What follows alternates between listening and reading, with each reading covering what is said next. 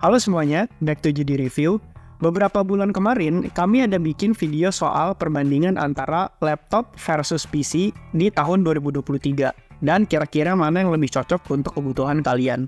Jadi kalau di antara teman-teman masih ada yang bingung mau beli laptop atau mau rakit PC untuk komputer pertama kalian, kalian bisa tonton video tersebut terlebih dulu.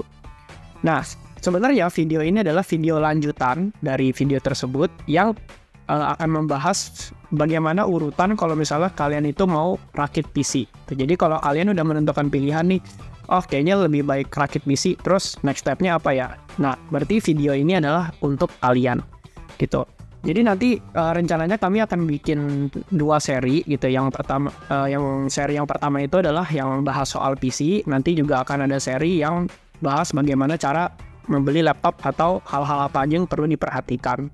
Nah, di video ini kita nggak akan langsung bahas gimana caranya rakit PC, barang-barang yang udah ada, terus ntar masangnya itu kayak gimana. Kita belum bahas sampai situ, mungkin itu nanti di video berikutnya.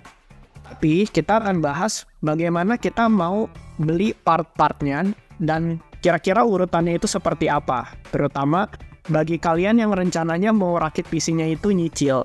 Itu. Jadi anggaplah kalian belum punya budget seutuhnya, misalnya PC itu kan kalau di video sebelumnya udah sempet uh, kami mention kalau kalian butuh budget kurang lebih mungkin 8 juta, 9 juta, 10 juta gitu. Anggaplah kalian belum punya budget sampai segitu banyak gitu. Kalian mau nyicil oh di bulan ini beli apa dulu ya, di bulan depannya beli apa dulu ya. Nah, kita akan bahas di video ini. Tapi sebelum kita masuk ke urutannya, ada baiknya teman-teman itu harus pastiin dulu tujuan kalian untuk ngerakit PC itu nantinya untuk apa gitu. Sama seperti di video sebelumnya yang laptop versus PC, salah satu pertimbangan utama adalah tujuan kalian membeli komputer itu untuk apa? Apakah untuk kuliah, untuk sekolah, untuk kompetitif gaming, apakah untuk profesional multimedia gitu, apakah untuk uh, kerja office biasa? Case study-nya itu banyak banget dan kalian harus tentukan kalian itu uh, bukan tentukan tapi lebih ke uh, pastiin aja kalian itu kira-kira nanti punya komputer, punya PC itu nanti mau buat apa. Gitu. Karena itu akan pengaruhnya ke budget kalian. Untuk di video ini, kami akan pakai sampel kalau kalian mau rakit PC untuk gaming. Karena gaming itu spektrumnya cukup ada di tengah ya. Jadi PC gaming itu udah aman buat casual, untuk office work, untuk kuliah itu udah aman. Sementara untuk professional work seperti multimedia dan lain-lain itu juga biasanya gaming PC masih bisa ngangkat. Tuh. Jadi untuk video ini kita akan ambil case kalau kalian mau build PC gaming dan urutan-urutannya gimana, kira-kira apa aja yang perlu diperhatikan.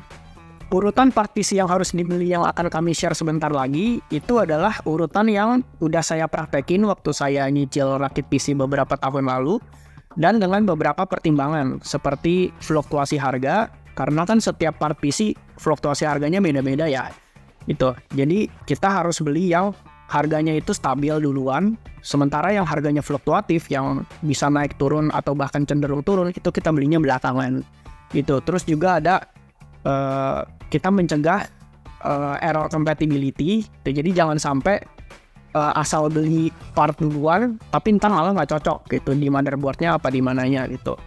Jadi uh, teman-teman tenang aja bagi yang nggak ngerti PC sama sekali, yang nggak ngerti komputer sama sekali, kami akan bikin video ini sesimpel mungkin. Dan kalau misalnya kalian ikutin urutan-urutan ini tuh uh, niscaya uh, semuanya itu compatible dan kalian nggak akan ngalamin yang namanya partnya nggak cocok ataupun error gitu. Seminimal mungkin kami akan bikin sesimpel itu.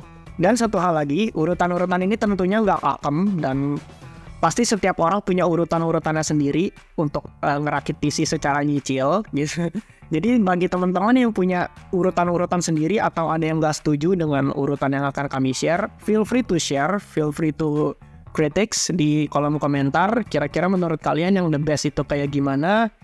Dan uh, silahkan sharing pendapat dengan teman-teman yang lain juga.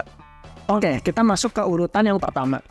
Kalau misalnya kalian belum punya budget secara full untuk rakit PC, tapi kalian udah tahu nih, oh, uh, gua akan rakit PC kira-kira gue harus beli apa dulu nih? Itu kalian punya budget sekian. Anggaplah misalnya tiap bulan itu kalian mau beli satu part gitu. Satu bulan satu part ini bulan depan part berikutnya part berikutnya. Oke kita masuk ke bulan pertama. Tes yang harus kalian beli yang menurut saya wajib banget dibeli itu adalah casingnya. Saya tahu ini mungkin part yang cukup underrated, yang kadang dianggap nggak penting atau dikesampingkan gitu. Uh, biasanya orang kalau build PC kan part lain nih yang dipentingin. Tapi menurut saya kalau kalian mau rakit PC, pastikan kalian beli casingnya dulu. Kenapa? Alasannya ada banyak. Yang pertama, casing itu kita anggap sebagai tempatnya PC kan. Casing itu kan rumah lah, anggap aja rumah gitu. Kan agak lucu ya kalau kita beli, kita mau punya rumah, tapi kita beli furniturnya dulu. Kita bukan beli rumahnya dulu, kita beli furniturnya dulu. Jadi ya itu analogi sederhana aja gitu lebih baik kita beli tempatnya dulu nih, kita beli boxnya, kita beli casingnya, baru nanti setelah itu kita isi. Gitu. Itu alasan pertama. Alasan kedua adalah biar kita beli casing itu jangan underspend. Jangan kita beli uh, casing itu misalnya kalau kita beli casing belakangan nih, semua part udah ada, kita baru beli casing, itu kemungkinan kita akan pakai duit tanda kutip duit sisa gitu. Budget sisaan, oh budgetnya tinggal segini ya udahlah buat casing misalnya 400 ribu itu apa 300 ribu. Nah, kita mau menghindari hal tersebut. Karena balik lagi, seperti yang tadi saya udah mention, casing itu ibarat rumah. Rumah tempat dari PC kalian. Kalau misalnya kalian beli rumahnya, kalian beli tempatnya aja yang pas-pasan, yang jelek gitu. Ya agak kurang, menurut saya agak kurang pas aja sih gitu, agak kurang etis aja. Karena casing ini kan jangka panjang ya. Kalian itu bikin PC itu kalian harus expect minimal PC kalian itu bisa berjalan 5 sampai 7 tahun, bahkan bisa sampai 10 tahun. Gitu. Dan part yang paling tahan lama yang mungkin kalian gak akan ganti sampai selama itu adalah casing. Jadi pastikan kalian beli casing itu yang agak bagus. Kalian jangan beli casing yang murah yang 100 ribu, apalagi pokoknya ya casing yang udah dikasih power supply-nya langsung itu juga kalau bisa hindarin tuh kalian pasti pernah ngalamin dong uh, di mana ada komputer entah di warnet atau di tempat umum di perkantoran itu port USB-nya itu rusak. Kalian harus colok di belakang. Nah itu adalah akibat dari kalau beli casing yang murah casing yang murah itu portnya itu sangat rawan sangat rawan rusak bisa jadi belum setahun dipakai colok cabut colok cabut itu udah rusak duluan jadi kalau misalnya kalian beli casing yang agak bagus, yang harganya ya nggak murahan, itu adalah investasi jangka panjang. Kalian udah nggak usah mikirin nanti uh, ada tempat yang nggak cocok, ada slot yang kurang atau gimana. Pokoknya pastiin nomor satu beli casing yang agak bagus dan sesuai kebutuhan kalian. Apa aja yang perlu diperhatiin? Seperti jumlah port USB-nya gimana? Di depan ada berapa? Kalau di belakang sih nggak ada ya biasanya. Pokoknya di depan itu ada port USB-nya berapa, apakah USB 2.0, apakah USB 3.0. Kalau dua-duanya USB 3.0 itu udah bagus. Terus ada USB Type-C-nya atau enggak. Nah, itu eh, hal-hal yang perlu kalian perhatikan. Pastiin portnya itu rigid, portnya itu bagus lah gitu. Terus selain itu adalah bahan dari casingnya. Tuh, bahan bahannya apakah besi kaleng, apakah aluminium, terus kalau misalnya PC gaming kan biasanya sebelah kirinya itu kaca ya. Nah itu kacanya tempered glass kah atau cuman plastik dan lain sebagainya. Karena kalau misalnya kalian uh, beli PC yang murahan, takutnya dia punya bahan itu besi kaleng yang gampang statik. Takutnya nanti korslet dengan part-part yang lainnya. Terus selain itu, dalam casing PC, kalian juga perhatiin slot-slot yang ada di dalamnya. Misalnya jumlah fan placementnya ada berapa fan itu kan fungsinya untuk mengalirkan udara dari luar ke dalam PC biar PC-nya nggak panas. Kalian harus perhatiin, kalian harus hitung casing kalian itu muat berapa fan. Yang paling basic itu biasanya di depan ada dua, di belakang ada satu, terus di atas juga bisa ada dua, terus di bawah bisa ada dua gitu. Uh, saya nggak tahu kalau casing-casing yang lebih minimalis dari itu bisa berapa, tapi yang basicnya itu fan-nya itu sebanyak itu gitu mendingan kalian beli casing yang udah nyediain langsung banyak port placement fan. Jadi kalau kalian mau nambah kipas itu gampang. Itu daripada kalian, oh dia cuma buat empat kipas nih ya udahlah nggak apa-apa. Tapi ntar pas kalian beli part-part yang lain terus PC kalian kepanasan, kalian mau tambah fan malah nggak bisa. Kita mau menghindari hal-hal kayak gitu. Jadi port USB depan itu dilihat bahan bahan casingnya itu seperti apa diketok-ketok aja itu besi kaleng apakah aluminium atau besi yang agak bagus. Sebenarnya ini nggak perlu sampai teknis gimana banget ya. Kalian cukup kalau boleh saya patok, kalian beli casing yang harganya di atas 500 ribu. Kalau bisa. Ya 450 ribuan masih oke okay lah.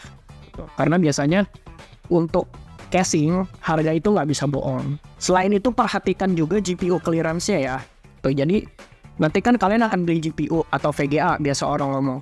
Dan GPU itu kan ada yang kecil, ada yang standar, ada yang gede uh, secara ketebalan ya. Jadi jangan sampai pas kalian pasang GPU ternyata casing kalian itu kekecilan dan nggak muat sama GPU tersebut. Itu kalian ukur aja. Uh, biasanya di spesifikasi casing akan dikasih lihat GPU clearance-nya itu berapa milimeter, terus juga uh, untuk AIO misalnya untuk uh, water cooler itu clearance-nya berapa, bisa muat yang 240 apa yang 360, tapi itu nantilah. Terus dari casing hal penting lain lagi adalah storage bay-nya dia muat berapa storage.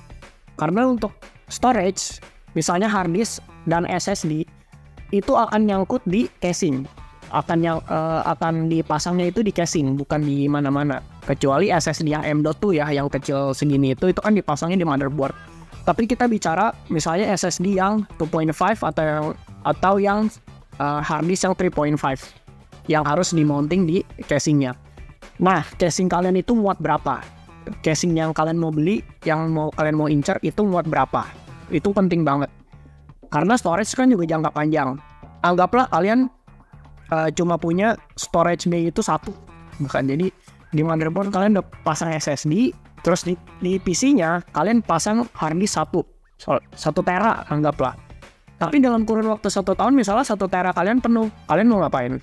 Itu kan agak agak repot ya kalau kalian perlu upgrade itu hard disknya harus diganti ke 2 TB terus nanti yang satu TB itu kalian pindahin lagi ke yang 2 TB itu isinya cuman karena casing PC kalian nggak bisa muat lebih dari satu hard disk. Sebenarnya banyak banget hal yang uh, cukup penting dari sebuah casing yang orang tuh kadang kesampingkan dan nggak dipikirin dulu. Jadi pastiin juga casing kalian itu bisa muat at least dua hard disk lah, dua hard disk atau dua SSD. Itu itu paling minimal sih. Kemudian yang terakhir, casing itu juga punya compatibility dengan ukuran motherboard. Bagi kalian yang nggak paham, tenang aja, nggak usah pusing. Ukuran motherboard itu biasanya cuma ada tiga, yaitu ATX, MATX, Micro ITX, atau biasa dibilang ITX. Jadi ukuran itu biasa cuma tiga ini. Kalian pastiin aja casing kalian itu muat yang ATX, karena ATX itu ukuran motherboard yang paling gede.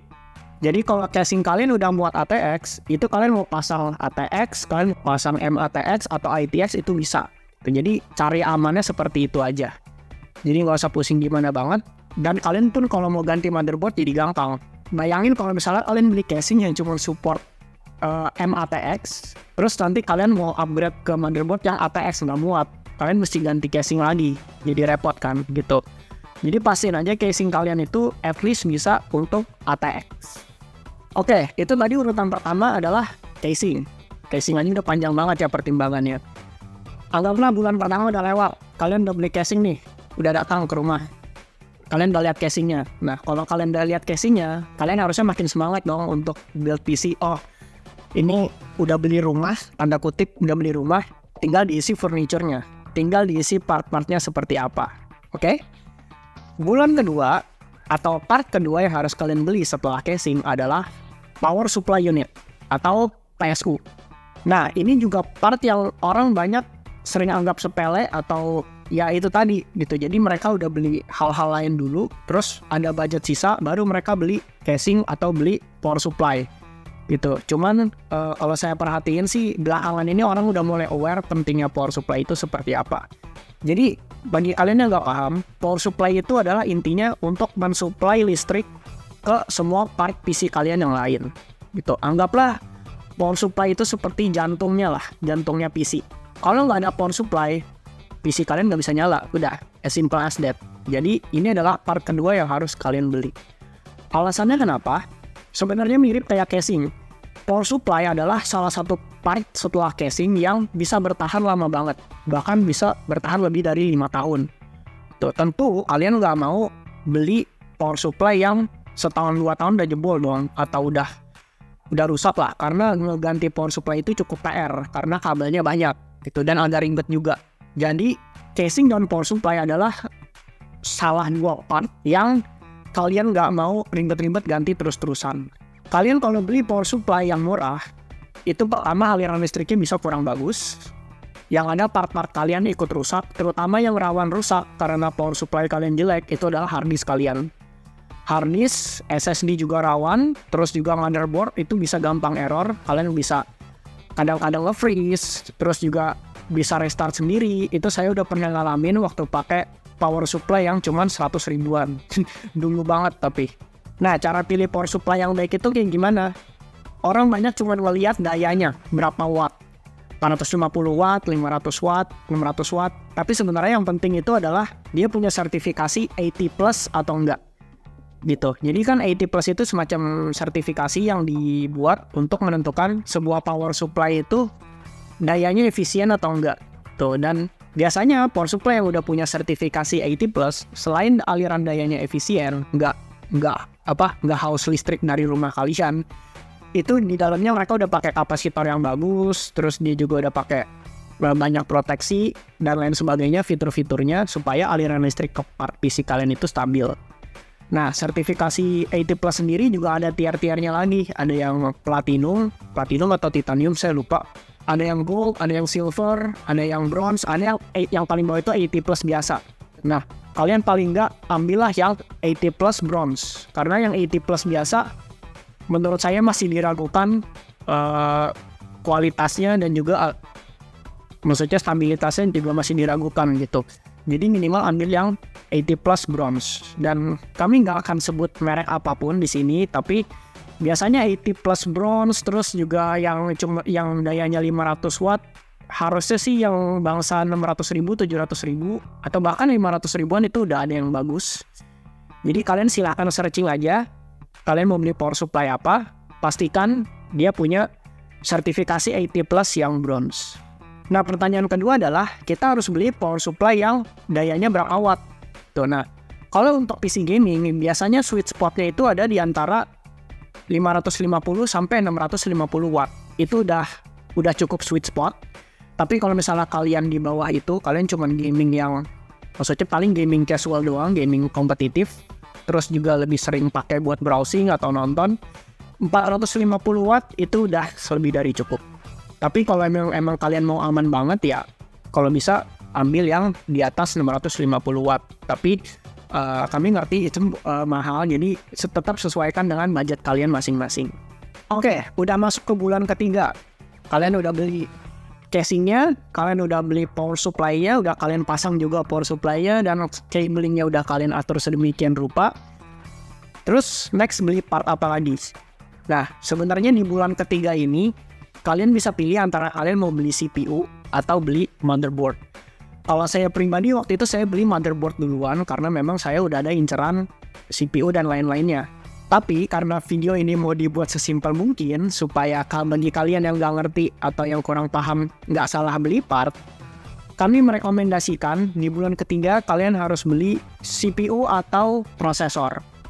Tentunya kalian udah familiar ya, ini kan bisa dibilang seperti otaknya lah, otaknya komputer atau bagian dari otaknya komputer. Dan untuk CPU terpaksa saya harus sebut merek AMD, Intel. Jadi di dalam dunia komputer atau PC, CPU itu cuma ada dua, yaitu AMD dan Intel. Tuh. Nah, kalian tinggal pilih mau yang mana. Kalian mau pakai AMD atau Intel, dan saya juga nggak bakal bahas bedanya apa. Yang jelas, ya yang jelas biasanya sih ada perbedaan harga ya. Ada perbedaan harga di tier-tier tertentu. Tapi kalian silahkan research sendiri, kira-kira kalian mau pakai AMD atau Intel. Tapi secara general, kalian mau gaming, kalian mau kerja atau mau cuman browsing nonton video AMD atau Intel itu nggak ada masalah. Tapi kalau kita mau bahas lebih jauh lagi, masa iya sih bang nggak ada bedanya Intel sama AMD? Ada yang bilang Intel lebih bagus, ada yang bilang AMD lebih murah, lebih kenceng. Itu.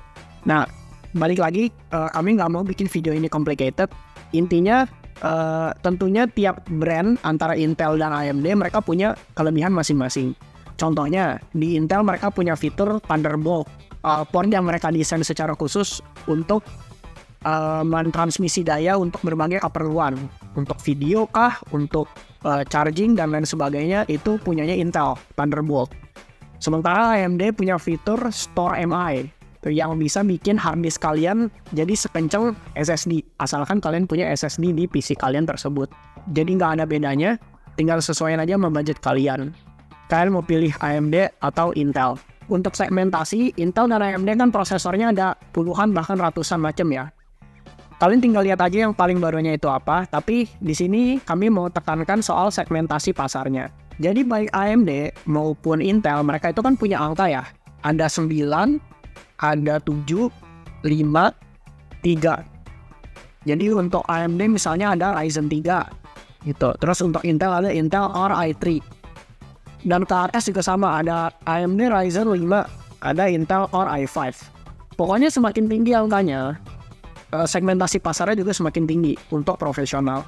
Kalau misalnya kalian untuk casual gaming ya, atau untuk gaming in general, kalian cukup pilih 5 atau 3, itu udah bagus segmentasinya kalian cukup fokus di Ryzen 5, Intel Core i5, atau bahkan kalau kalian ngepres budget Ryzen 3 atau Intel Core i3 itu juga nggak masalah, terserah kalian. Pokoknya kalian perhatiin di situ aja. Dan masalah generasi gitu di angka-angka belakang ya, apakah Ryzen 5 5600X, terus Intel Core i3 12, oh iya Intel Core 12 600, 12400, Pokoknya untuk angka-angka yang di belakangnya itu yang ngikutin itu cuma masalah generasi aja. Kalian beli yang lebih baru itu lebih bagus. Misalnya kalau sekarang Ryzen itu udah generasi ke-7, jadi ada Ryzen 7600X misalnya. Terus untuk Intel ada generasi ke-13 yang baru jadi Intel Core i5 13600 misalnya. Itu kalian silahkan pilih sendiri aja sesuai dengan budget kalian. Tapi satu hal lagi yang perlu diperhatikan adalah kalian juga harus cek di prosesor yang kalian beli itu ada integrated grafiknya atau enggak. Kalau kalian pakai PC untuk kebutuhan gaming yang nggak berat-berat banget atau untuk office sebenarnya kalian bisa pakai uh, prosesor yang udah punya integrated grafik. Jadi ntar kalian gak usah beli GPU lagi atau itu integrated grafiknya untuk jaga-jaga aja kalau GPU-nya kenapa-napa. Tapi biasanya kalau kalian itu mau untuk competitive gaming untuk uh, kalian itu heavy gamer lah kalian bisa beli CPU yang nggak ada integrated grafiknya. Kalau di AMD, semua seri, seri Ryzen yang nggak ada huruf G-nya itu nggak ada integrated grafik. Sementara untuk Intel, semua yang seri F itu nggak ada integrated grafiknya. Tapi ya udahlah, kalian tinggal cek aja atau uh, kalian tinggal tanya ke yang jual prosesor ini ada integrated grafiknya atau enggak. Sebenarnya ada atau enggak itu nggak masalah. Bedanya kalau misalnya ada integrated grafik, kalian wajib beli GPU. Gitu. Kalian wajib nanti ada GPU baru kalian bisa kalian bisa apa namanya di monitor kalian itu akan tampil uh, tampilan dari interface PC kalian. Kalau misalnya kalian belum punya GPU, anggaplah kalian udah urgent banget nih, kalian butuh PC-nya tanpa beli GPU dulu, maka kalian harus beli prosesor yang ada integrated grafiknya. Udah, intinya untuk CPU itu aja yang perlu kalian perhatiin AMD atau Intel, terus segmentasinya kalian mau beli yang mana.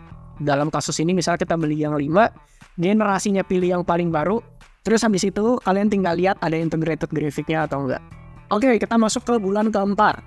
Tadi udah ada casing, udah ada power supply, power supply-nya udah dipasang, terus kalian udah beli CPU yang kotaknya segini itu, tapi kalian belum bisa pasang ngapa-ngapain. Di bulan keempat, kalian harus beli yang namanya motherboard, atau kadang disebut juga mainboard. Ini adalah part keempat yang kalian cicil untuk PC kalian.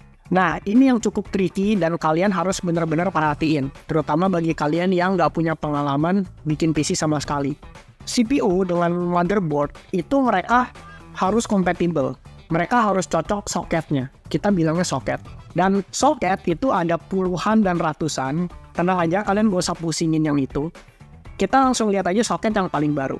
Nah, CPU itu kan tadi kita udah bahas, ada AMD, ada Intel. Anggaplah kalian udah beli salah satunya nih, misalnya kalian beli, anggaplah kalian beli AMD misalnya, atau kalian beli Intel. Di CPU tersebut, ada akan ada informasi soketnya itu soket apa. Baik AMD maupun Intel mereka itu soketnya beda-beda. Kalau AMD, dia punya soket itu yang paling baru namanya AM5 atau yang generasi sebelumnya AM4.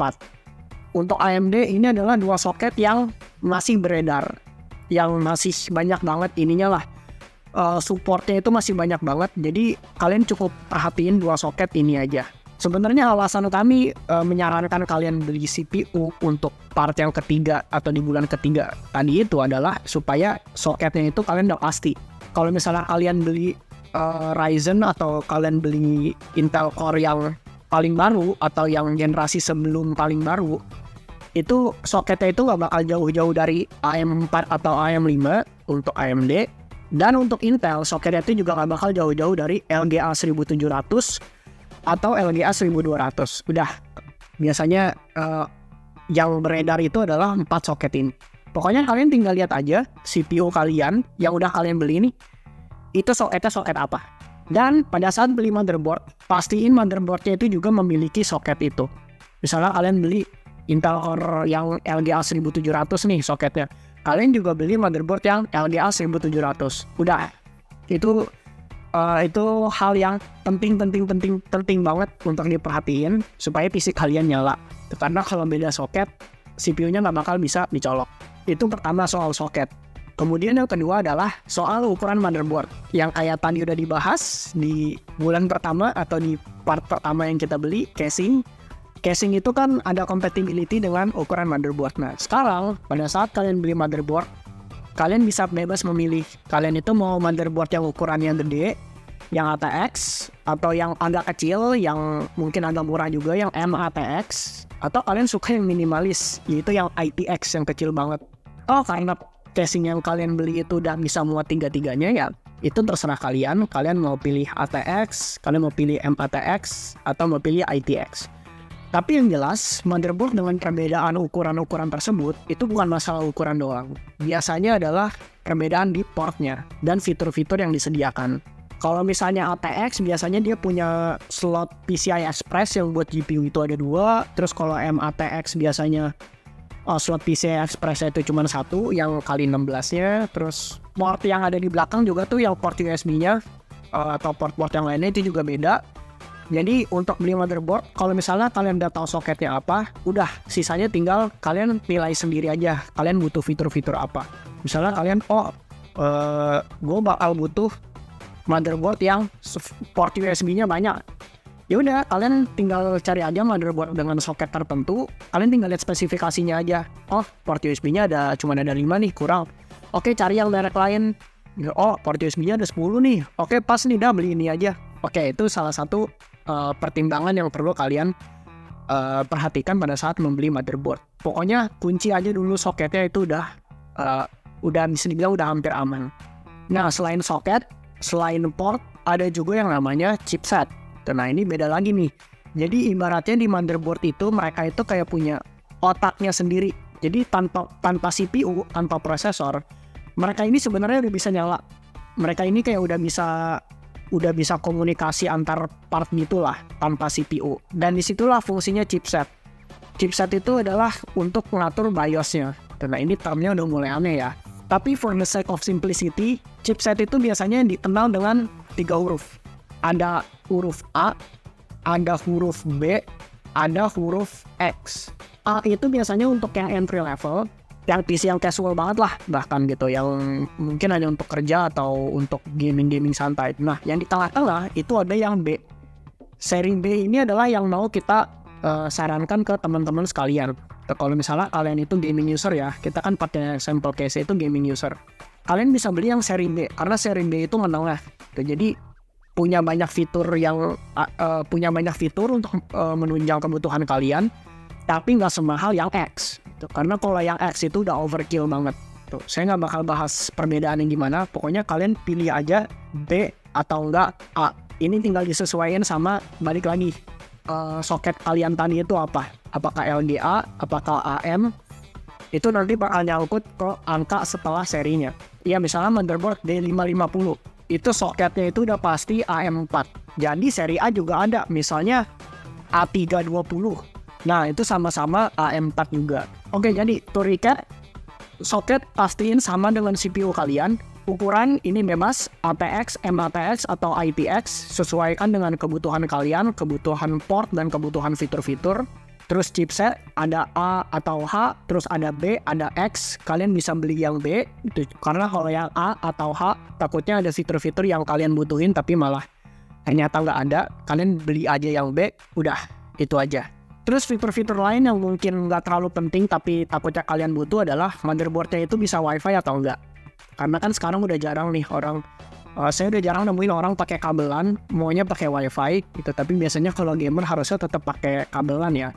Pastiin aja motherboard kalian itu punya fitur wifi atau enggak karena motherboard seri B sekarang tuh banyak yang udah bisa wifi udah bluetooth gitu. Jadi udah integrated udah otomatis. Jadi kalau misalnya kalian butuh ya pastiin aja motherboard kalian bisa wifi. Kalau misalnya pun kalian udah uh, cari-cari nih nggak ada yang sesuai budget atau yang sesuai kebutuhan terus yang uh, yang ada wifi-nya juga tenang aja kalian nggak apa-apa beli aja motherboard tersebut. Untuk urusan wifi itu nanti bisa dipasang uh, wifi card. Wifi cardnya pun bisa USB bisa PCI Express itu nanti itu urusan gampang Oke, udah selesai bulan keempat. Sekarang kita masuk ke bulan kelima. Tadi udah ada apa aja? Kalian udah punya casing, kalian udah punya power supply, kalian udah punya CPU, kalian udah punya motherboard, dan mungkin juga CPU-nya kalian udah pasang tuh, udah coba di motherboardnya kayak gimana. Nah, sebenarnya di bulan kelima ini atau part kelima ini, kalian udah terserah mau beli apa, nggak terlalu ngaruh banget. Tapi di urutan kami, kami taruh kalian harus beli RAM atau memori. Sebenarnya nggak ada pertimbangan gimana banget untuk part kelima ini, karena untuk RAM harganya itu nggak fluktuatif, harganya cukup stabil, mirip kayak storage, hard disk atau SSD. Terus untuk perubahan teknologi juga nggak banyak. Kayak RAM itu kan biasa perubahan teknologinya DDR-nya ya. DDR3 ke DDR4 itu juga makan waktu lama, DDR4 ke DDR5 itu juga makan waktu lama gitu. Dan sekarang DDR5 memang udah mulai diadopsi, cuman eh, balik lagi terserah kalian kalian mau pakai DDR berapa. Nah, tapi kalian harus sesuaikan RAM ini dengan kemampuan CPU kalian, kemampuan prosesor kalian. Kalian tinggal lihat lagi di dus CPU kalian atau di dus motherboard kalian, mereka itu support RAM yang DDR berapa. Tapi kalau misalnya mau saya jabarin di sini, AM4 dengan LGA 1200 itu masih support DDR4. Dan untuk RAM ini, kalian sesuaikan dengan kebutuhan dan budget kalian. Karena ada RAM yang harganya bedanya itu sampai 500 ribu, padahal performance-nya sama gitu. Cuman beda di kosmetik aja atau di beda di desain aja gitu.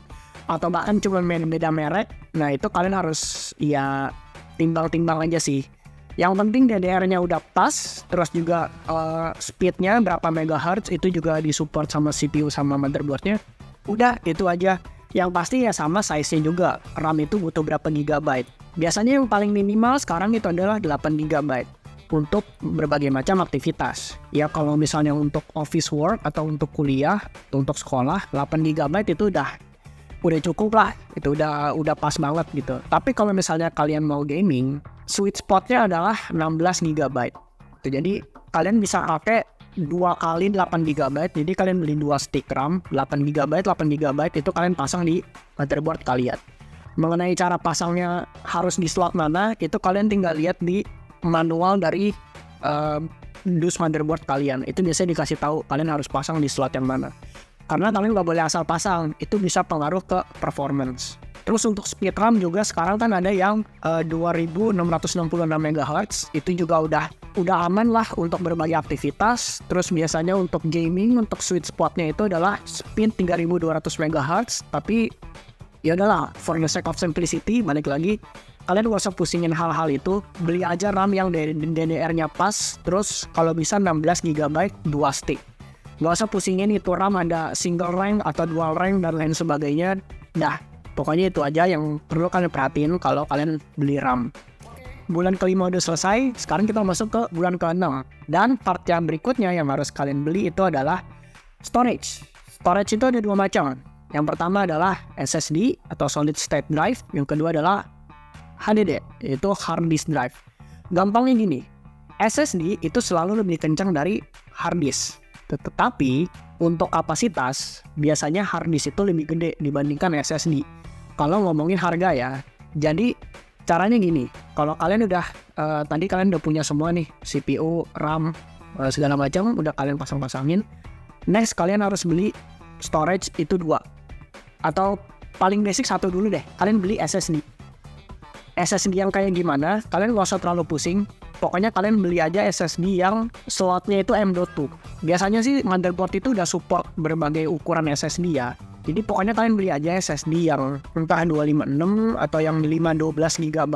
Uh, nggak usah terlalu pusing juga soal merek atau speednya berapa karena menurut saya nggak terlalu ngaruh banget itu karena kan kita mau yang simple-simple aja alasannya kenapa harus beli SSD karena SSD ini adalah tempat Windows kalian nanti ditaruh. Kalau kalian pakai Windows ya. Atau kalian nanti mau pakai Linux mungkin. Pokoknya SSD akan membuat booting OS kalian jadi lebih cepat dibandingkan hard disk. Kalau kalian pakai hard disk untuk taruh Windows kalian butuh waktu sekitar mungkin 2 menit. 2 menit kurang lah untuk booting. Dari kalian pencet itu tombol power di PC tet sampai nyala terus sampai udah ready dipakai itu mungkin dua menit kurang kalian baru ready itu atau bahkan bisa lebih. Tapi kalau kalian pakai SSD dari kalian pencet tombol power komputernya nyala sampai kalian siap pakai atau kalian masukin password di login screen itu nggak nyampe 30 detik. Jadi cepat banget itu akan ngehemat waktu kalian PC kalian jadi kencang banget segala proses itu jadi lebih mulus. Itu SSD nah tapi kalian uh, kami sarankan kalian juga beli hard karena hard itu masih punya kelebihan dibandingkan SSD yaitu kapasitasnya gede dengan harga yang murah. Sekarang aja hard disk yang 1 terabyte itu harganya nggak nyampe 1 juta, bahkan cuma 700 atau 600 ribu kalau saya nggak salah ingat.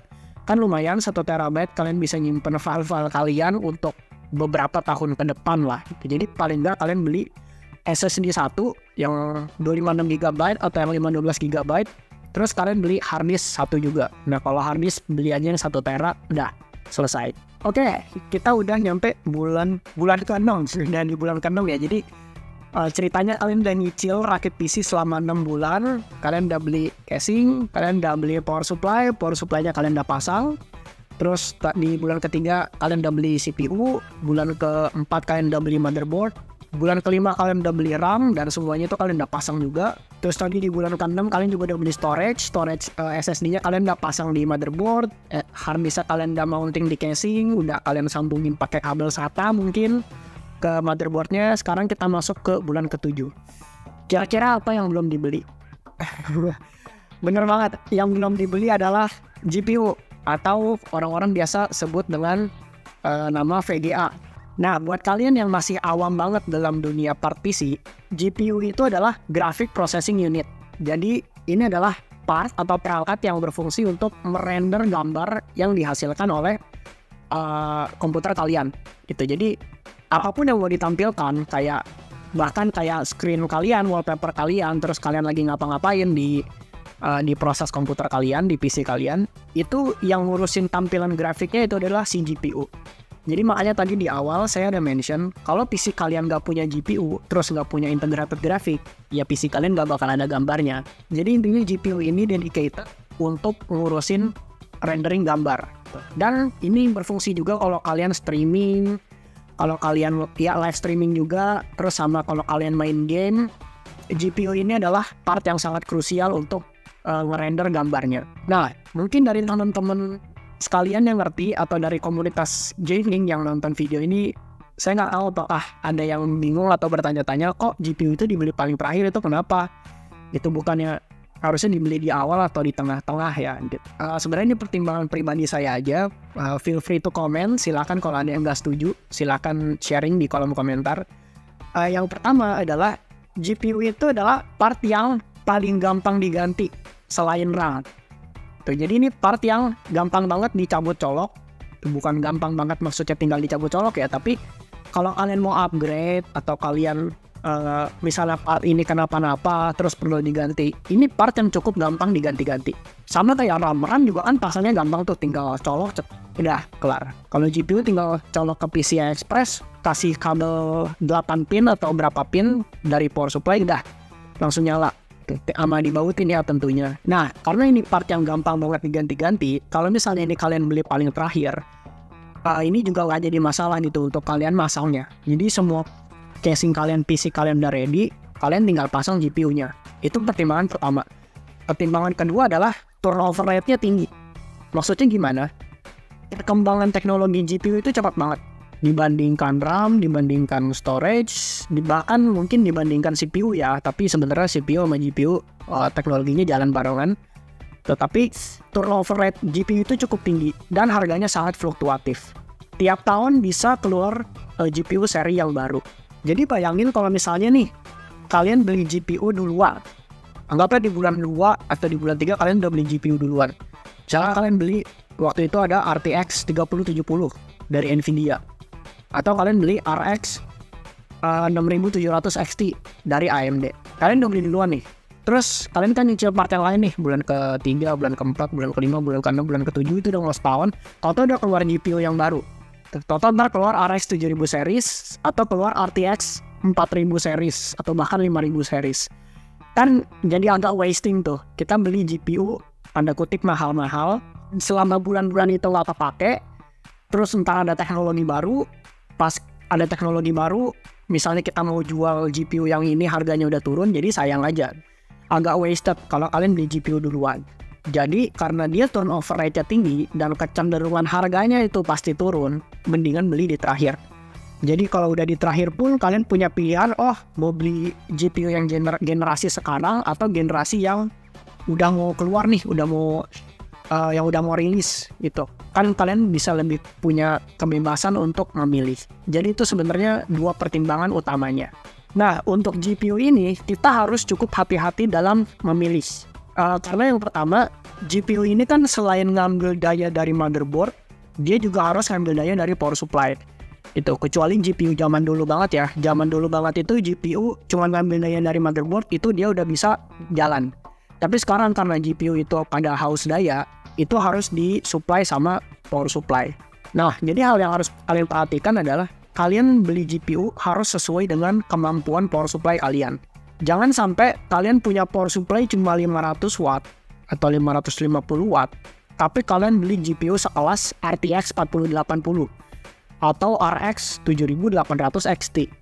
Yang ada nanti PC kalian bisa mati-mati atau PC kalian restart karena dayanya nggak kuat jadi uh, eh, GPU itu salah satu part yang uh, bagian yang maksudnya bagian yang ngambil daya cukup besar dari power supply. Kalau kalian bayangin kan tadi kan uh, saya udah mention kalau power supply itu jantung ya, jantungnya casing. Yang mengalirkan darah atau daya ke banyak part yang lain. Akan mengalirkan ke motherboard, akan mengalirkan ke CPU, akan mengalirkan ke storage, ke RAM, terus juga ke lampu-lampu casing kalian dan juga fan-fan casing kalian yang jalan salah satu uh, part yang paling makan daya dari power supply itu adalah GPU. Jadi pastikan kalian harus takar-takar juga.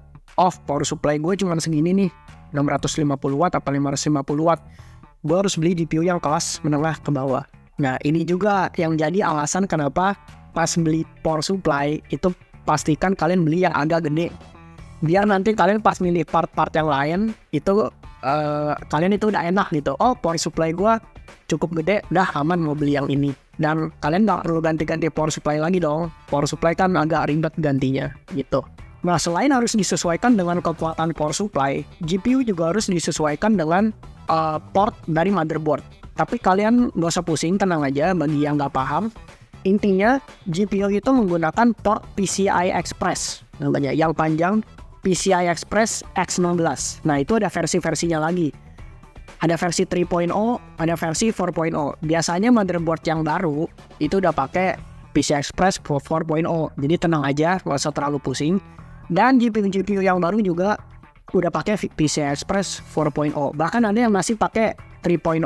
Tapi itu nggak masalah, itu udah pasti dicolok, udah pasti masuk. Nah, setelah kita tahu dua pertimbangan tersebut, barulah saatnya kita menentukan kita mau beli GPU dari vendor yang mana. Atau dari chip maker yang mana. Ada dua produsen GPU terbesar saat ini, Nvidia dan AMD. Sebenarnya Intel juga udah mulai keluarin GPU, tapi kita nggak usah uh, pusing kebanyakan merek. Intinya sekarang kita fokus saja ada dua merek, yaitu Nvidia dan AMD. Nah, balik lagi sebenarnya hampir sama seperti penjelasan soal CPU. Nvidia atau AMD, kalian terserah mau pilih yang mana. Nggak terlalu jadi masalah kalau kalian itu gamer. Kalau kalian itu buat main game, kalau kalian itu buat cuma nonton video dan lain sebagainya, itu nggak terlalu jadi masalah. Tapi memang harus uh, kita akui mereka itu kayak punya sisi kelemahan atau sisi kelebihan masing-masing. Misalnya, AMD itu punya teknologi uh, DLSS, terus juga punya teknologi CUDA-OR, terus juga ada encodernya sendiri, NVENC kalau nggak salah. Jadi eh, teknologi-teknologi NVIDIA itu udah cukup mutakhir kalau kalian mau live streaming. NVIDIA itu lebih mutakhir, lebih canggih dan lebih uh, lebih proper untuk kebutuhan-kebutuhan tersebut. Nah sementara kalau AMD ya AMD juga punya saingan teknologi saingan dari DLSS yaitu namanya AMD FSR. Terus juga AMD itu terkenal performa tinggi dengan daya yang lebih rendah daripada Nvidia. Terus juga untuk GPU terbarunya AMD itu nggak perlu pakai port-port baru yang ribet kayak Nvidia. Nvidia kan power konektornya itu masih pakai kabel dia sendiri kalau nggak salah. Nah sementara kalau AMD itu masih pakai kabel yang biasa. Nah terus juga harganya biasa AMD RX itu lebih murah dibandingkan Nvidia RTX. Nah jadi sebenarnya antara dua brand ini uh, kembali lagi sesuaikan dengan keperluan kalian. Kalau keperluan kalian itu tok gaming, AMD nggak masalah. Bahkan AMD pun masih bisa untuk live streaming, meskipun nggak sebagus dan secanggih Nvidia. Nah, sebagai contoh ya, ini uh, sebagai contoh aja. Kalau kalian bener-bener ngekat budget, budget, budget banget untuk GPU, misalnya selama 7 bulan itu kalian udah habis duluan budgetnya atau duitnya sementara untuk GPU kalian belum malah jadi nggak ada budget kalian bisa coba cari GTX 1660 Super karena GTX 1660 Super ini GPU sekitar udah kalau saya nggak salah ingat udah 4 udah mau 4 tahun lalu tapi still holding up banyak game yang dijalanin di 1660 Super ini masih jalan 60 FPS 60 FPS plus plus ya udah smooth banget lah untuk uh, gamers in general. 60 FPS average ya, bukan bukan fluktuatif tapi average 60 FPS di 1080p. Jadi uh, kalau kalian cari GPU yang murah banget tapi performance masih oke, okay, kalian bisa cari GTX 1660 Super kalau masih ada. Untuk entry level, kalian bisa pakai RTX 3050 atau RX 6500 XT itu untuk entry level. Terus kalau kalian mau cari sweet spot gaming untuk 1080p yang udah mungkin udah bisa tembus 80 fps ke atas, kalian bisa pakai RX 5600 XT atau kalian bisa pakai RTX 3060 Ti. Saya pribadi saya pakai RX 5600 XT dan eh, nggak uh, ada masalah sama sekali. Pokoknya gaming itu smooth banget dan di beberapa title dia bisa uh, tembus 100 fps lebih. Dan untuk GPU, meskipun ada dua merek ini, tetapi vendornya atau board makernya itu banyak. Jadi kalian jangan kaget kalau misalnya sekarang kalian buka marketplace, misalnya kalian nge-search langsung RTX 3060 Ti. Mereknya malah banyak. Ada Galax, ada Asus, mungkin ada Asus TUF, terus juga ada uh, RTX atau lagi ada Gigabyte, mungkin terus ada MSI. Nah, jadi vendor atau board maker itu tetap ada banyak. Nah itu juga kami nggak akan bahas gimana banget. Kalian tinggal pilih aja. Uh, yang penting brand vendornya itu reputable uh, dan mereka itu menawarkan uh, klaim garansi yang gampang. Kalau misalnya GPU kalian kenapa-napa, itu kalian silahkan pilih sendiri, kalian research sendiri, dan di marketplace kan biasanya udah ada banyak rating dan lain sebagainya ya. Uh, untuk sharing GPU, Gampangnya seperti itu, RX 6600 XT atau RTX 3060 Ti untuk sweet spot gaming di 1080p. Oke, udah panjang banget nih pembahasan kita. Dengan perjalanan 7 bulan kalian mau nyicil rakit PC. Eh 7 bulan ya? 1, 2, 3, 4, 5. Oke ya, udah 7 bulan perjalanan kalian ngerakit PC. Nah, PC kalian udah nyala, udah siap nyala nih. Nah, anggaplah hal-hal lain kayak CPU cooler itu kalian udah dapat dari kalian beli CPU. Biasanya ada CPU yang udah dapat cooler. Tapi kalau misalnya belum, silahkan kalian beli uh, eh, CPU coolernya. Terus juga fan casing biasanya juga itu udah dapat begitu kalian beli casing itu langsung dapat fannya. Tapi kalau misalnya menurut kalian kurang, ya udah kalian tinggal beli lagi, kalian tinggal pasang lagi. Ini PC udah siap nyala. Terus yang masih kurang apa? Monitor. monitor itu untuk nampilin gambarnya gitu. Jadi percuma kalian punya PC tapi kalian nggak punya monitornya. Nah, untuk beli monitor, kami juga nggak komentar banyak banget. Tinggal kalian sesuaikan aja dengan kebutuhan kalian. Terus monitor ini kan nyambungnya ke GPU ya. GPU itu kan ada port HDMI, ada port, ada juga namanya display port. Ini juga nggak masalah, karena biasanya GPU sekarang itu udah punya baik port HDMI maupun display port. Dan bahkan monitor pun juga nyediain dua port ini, tuh HDMI atau DisplayPort. Jadi terserah kalian mau pakai yang mana, tapi biasanya yang lebih teknologinya lebih terkini untuk itu adalah DisplayPort. Terus kalau misalnya kalian mau pengalaman warna yang cukup oke, pengalaman warna yang imersif atau bagus, kalian tinggal pilih monitor yang panelnya itu IPS dan meskipun panel IPS itu agak mahal, tapi uh, eh, IPS itu nggak akan ngecewain kalian deh. Kalian akan lebih betah ngelihatnya. Atau misalnya kalian punya budget lebih, kalian bisa cari yang panelnya udah AMOLED. Terus perhatiin juga resolusinya. Sekarang resolusi 1080p itu udah minimal banget lah. Udah jadi standar untuk untuk office apakah untuk gaming 1080p itu udah standar.